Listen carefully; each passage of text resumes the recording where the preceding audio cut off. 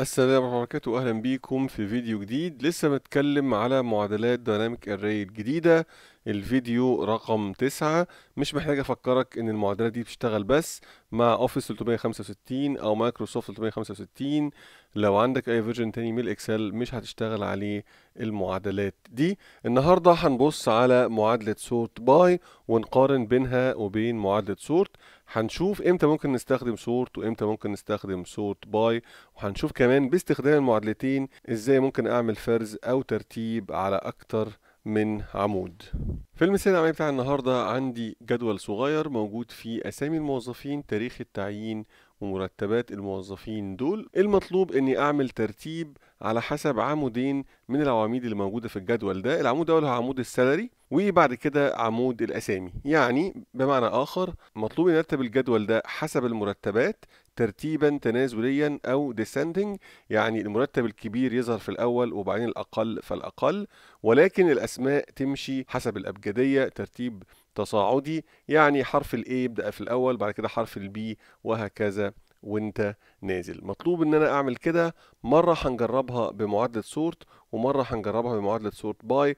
ليه عايز أجربها مرة ب Sort ومرة ب Sort By؟ لأن في المرة الأولى هعمل ترتيب للجدول بالكامل. وبالتالي ممكن أستخدم Sort ولكن في المرة التانية عايز أعمل ترتيب حسب ال salary برضو وحسب الأسامي ولكن الجدول هيظهر فيه بس الاسم وال hiring date من غير ال salary نعتبر مثلا إن المعلومة دي ممكن تكون معلومة سرية ما أقدرش أبعتها للناس كلها فهعمل الترتيب ولكن من غير ما يظهر ال salary بتاع كل موظف على حدة.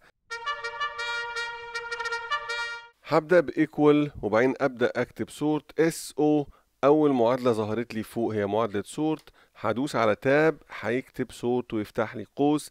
تعال نمشي على screen tip أو التعليمات اللي موجودة على ال screen أول حاجة محتاج array ال array هتكون الجدول بالكامل ولكن من غير ال header هختاره كله بالكامل. comma عشان أروح على الطلب اللي بعد كده مطلوب مني بعد كده ال sort index. خد بالك أنا عايز أرتب باستخدام عمودين يعني عندي اتنين sort index. عشان أعمل كده ممكن أعملها عن طريق ال curly bracket القوس المعقوف أو القوس الملوي. لو فتحت القوس الملوي ده وأبدأ جواه أكتب له ال sort index. ال sort index ببساطة ما هو إلا سؤال بيسألك فين رقم العمود اللي أنت محتاج تستخدمه علشان تقوم بعملية الترتيب.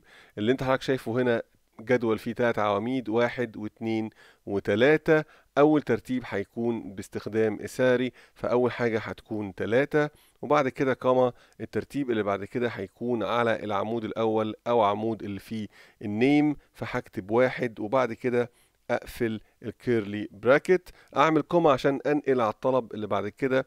ال sort order عايزه تصاعدي أو تنازلي. خد بالك إن أنا عندي هنا عمودين فبالتالي لازم كمان أديله حاجتين. خاصة إن أنا عايز حاجتين عكس بعض عايز واحدة تنازليا والتانية تصاعديا. نفس الحكاية بالظبط. هفتح curly bracket وأبدأ أكتب أول واحدة عايزها ترتيب تنازلي.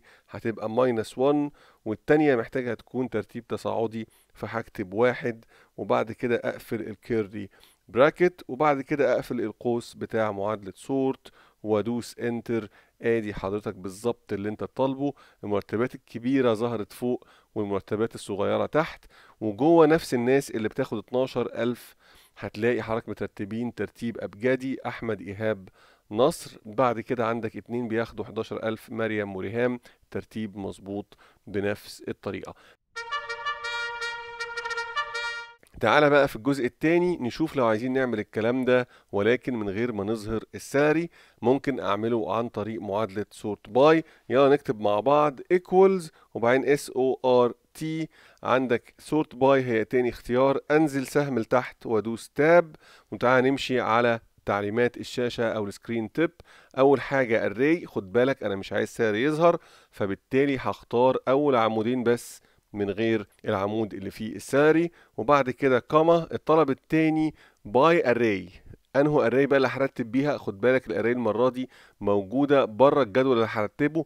مفيش مشكلة خالص وهو ده ميزة SORTBY. أقدر أختار العمود بتاع ال salary مفيش مشكلة.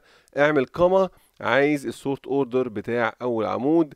ارتبه تصاعدي ولا تنازلي. إحنا قلنا ترتيب تنازلي بالنسبة لل salary يبقى minus 1 وبعدين comma ممكن أرتب ب array تانية. فين ال array التانية؟ هتكون المرة دي هي الأسامي. أقدر أختارها مفيش مشكلة. comma ترتيب تصاعدي ولا تنازلي. تصاعدي فهدوس على واحد. واقفل القوس وادوس enter بالظبط نفس النتيجة اللي انت حضرتك عملتها باستخدام SORT ولكن من غير العمود بتاع ال salary. كده فهمنا الفرق ما بين SORT و SORTBY.